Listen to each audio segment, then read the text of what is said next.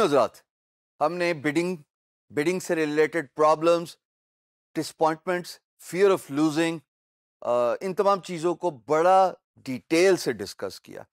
अब बात आती है how to win your first client as a freelancer ये एक ऐसी चीज़ है जो कि आप में से बहुत सारे लोग इंटरेस्टेड होंगे कि स्टार्ट कर लिया, सब कुछ अकॉर्डिंग टू द बुक कर दिया टेक्स्ट बुक प्रिसाइसली तब भी जवाब नहीं आया। तो थोड़ा सा जरा काम से हट के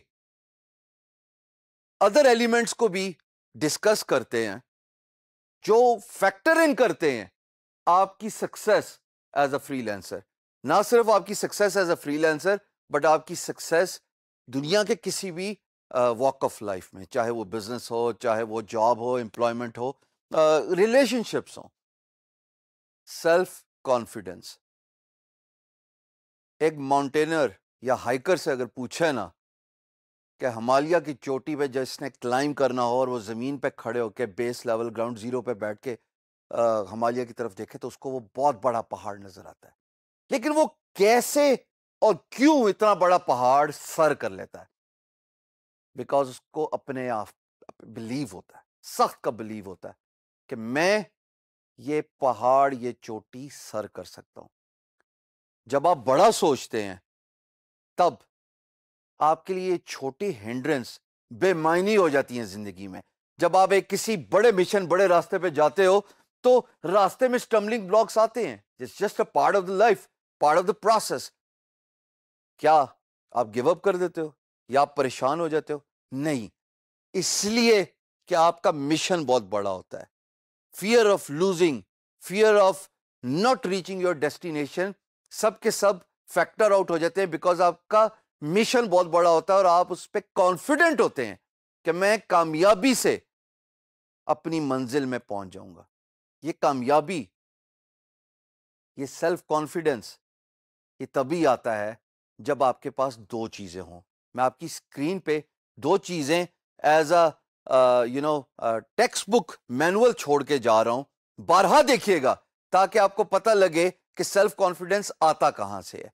नंबर वन पर्सनल डेवलपमेंट और नंबर टू स्किल अब देखा जाए तो ये दोनों बातें रेलिवेंट है। और देखा जाए इनका ताल्लुक शायद कॉन्फिडेंस से बने भी ना। लेकिन मैं अब आपको एक्सप्लेन करूँगा कि पर्सनल डेवलपमेंट और स्किल का क्यों डायरेक्टली वास्ता है आपके सेल्फ कॉन्फिडेंस में। देखिएगा, क्या आपने ऐसे लोग देखे हैं अपनी ज़िंदगी में जो किसी वक्त में बहुत अमीर थे, बादशाह थे और all of a sudden with the passage of time उनकी तमाम हमारा तमाम पैसा खो गया और वो एकदम गरीब हो गए। वो पता क्यों होता है? बिकॉज़ वो पर्सनल डेवलपमेंट में काम नहीं करते। वो अपने आप पे काम नहीं करते। मुफ़्त के मशवरे ले रहे होते हैं और, जनाब, समझते हैं कि जो उन्होंने एक दफ़ा सीख लिया, जो उनकी एक दफ़ा बॉडी लैंग्वेज बन गई। बॉडी लैंग्वेज समझते हो? अगर किसी से मिलने जा रहे हो ऐसे होके। ये बॉडी लैंग्वेज नहीं है। आपका पहला इंप्रेशन जो है ना, वही आखिरी इंप्रेशन होता है। अगर आप कॉन्फिडेंट हो के किसी से मिलते हो तो बात कारोबार में रिलेशनशिप में, या इवन फ्रीलैंसिंग में, आपके वर्ड्स डिपेक्ट करते हैं कि आप कितने कॉन्फिडेंट हो मैटर करती है। पर्सनल डेवलपमेंट में इतना एम्फोसिस दिया जाता है बाहर के ममालिक में एज अ सॉफ्ट स्किल कि अगर आप अपने आप पे टाइम लगाते हो, आप अपने क्लोथिंग अपने कपड़े, अपना ड्रेस अपना बॉडी लैंग्वेज उस पर टाइम लगाते हो तो ये आपकी ग्रूमिंग करता है। What that you know matters is कि आप कितने एम्फोसिस uh, डालते हैं इस पर्टिकुलर पॉइंट पे कि आपने ग्रो करना है। आपने इंप्रूव करना है। आपने अपने अंदर बेहतरी लेके आनी है। यह है पर्सनल डेवलपमेंट दूसरी बात जनाब स्किल अब स्किल बजाहिर स्किल है हुनर। एज अ फ्रीलांसर अगर आपका एमेच्योरिश स्किल है और वो स्किल भी आपने पाँच साल पहले हासिल किया था पाँच साल के बाद टेक्नोलॉजी, सॉफ्टवेयर चेंज हो गया, वक्त चेंज हो गया। अगर आपने अपने आप को इम्प्रूव नहीं किया, उस पुराने स्किल सेट के, को लेके, उस पुराने स्किल सेट के साथ, उस पुराने सॉफ्टवेयर की जो आपको नॉलेज है, जो नो हाउ है, उसके साथ आप सरवाइव नहीं कर सकते। 2018 ऑनवर्ड्स आपको अपनी स्किल की इंप्रूवमेंट करने पड़ेगी। ये बहुत ज़रूरी है। जिस तरह पर्सनल डेवलपमेंट पे काम करना है, in order to become confident, in order to become successful, एक गोल है ना, एक मिशन है, उस मिशन की तरफ़ आप देख रहे हो। इसी तरीके से आपको अपनी स्किल पे भी काम करना है। मैं यहाँ पे आपको एक बड़ी मज़ेदार बात बता दूँ। मैं डायरेक्टली दोनों बातों का सताया हुआ था, हूँ नहीं। क्योंकि जब आप प्रॉस्पेरिटी पे चल रहे होते हो तो आपको बाकी यू नो सारी चीज़ें बेमानी लगती हैं।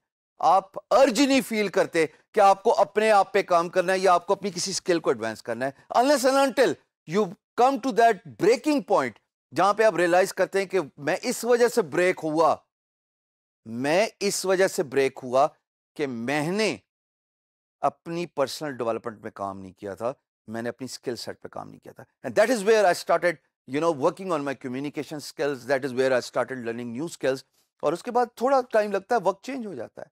तो यू नो आज ही एक और इंपॉर्टेंट फैक्टर है जो कि हमेशा मद्देनजर रखना चाहिए जब आप ग्रो कर रहे होते हो।